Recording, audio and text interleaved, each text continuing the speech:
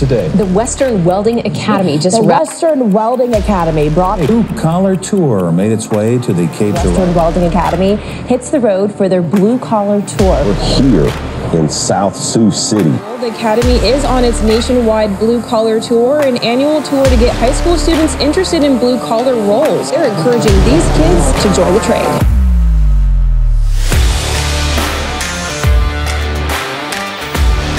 We all need electricity. We all need, you know, plumbers, mechanics, machinists, you know, and welders hold the entire thing together. So it's really important. Blue collar trades, this country was founded on that, was built on that. And that's what we're doing today is talking about kids about the blue collar trades.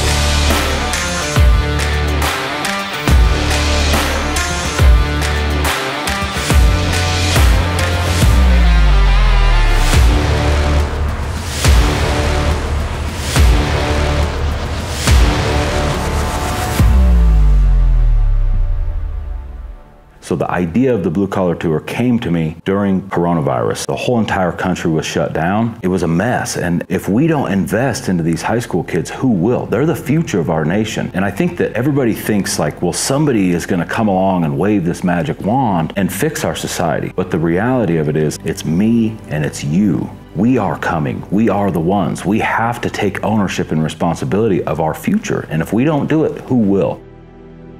The industry needs people. If you're ever just in need of a job for even a short period of time, having the skill is is useful. And when other jobs dry up, welders don't usually. Trades in general don't. Like that's what makes the world go round.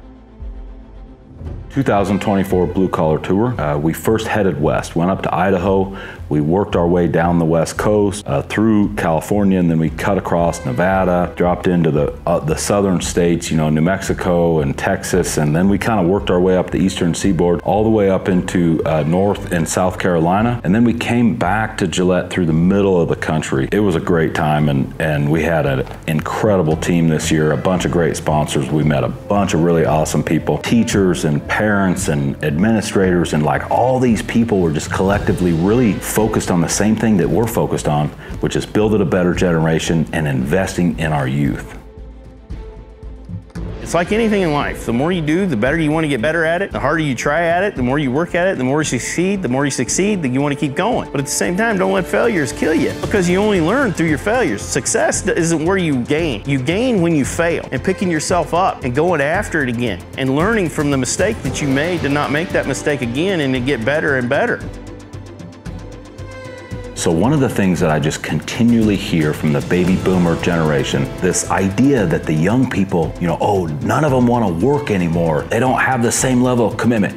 What I can tell you from running Western Welding Academy and doing the blue collar tour is that is 100% false. These baby boomers, they are retiring and they are moving out of the workforce. There is lots and lots of young people super interested in going into these trades. Yes, I agree that they are different. They're wired different. But if you motivate them and show them the path, and communicate to them. This whole generation of kids, they grew up in instant Amazon one click delivery, you know, instant social media gratification. So when they enter the workforce, why would it be any different? What really needs to happen is these companies and these contractors and these managers and leaders of whole organizations and industries, they have to learn how to start communicating to these young people and getting on their level. Let's face it, they are the future of this nation. And if we don't know how to communicate to them and talk to them and explain to them what success looks like and what's really important, things like work ethic, accountability, integrity, these are really important traits and that's what it takes to make it.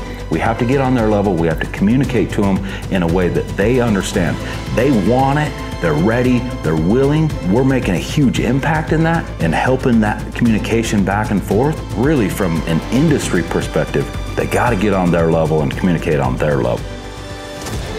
When we're setting up the blue collar tour, we want to do business with people that are aware of the same problem and issues with our society and our nation. DeWalt really comes to mind, AWG, American Welding and Gas, Outlaw Leather, Build Submarines, all these people, they're focused on the same things we're focused on. Invest into these youth, get them the proper tools, get them the stuff they need, the resources, show them the path. If we can really communicate to these young people, we've got some really good sponsors that believe in all the same things that we believe in, and that's what's made this thing possible. It's been the sponsors and the team that's just like put power to the pavement every day talking to these kids. It's blew my mind. It's humbling to have this level of support and uh, have the team that we have. It's, it's incredible.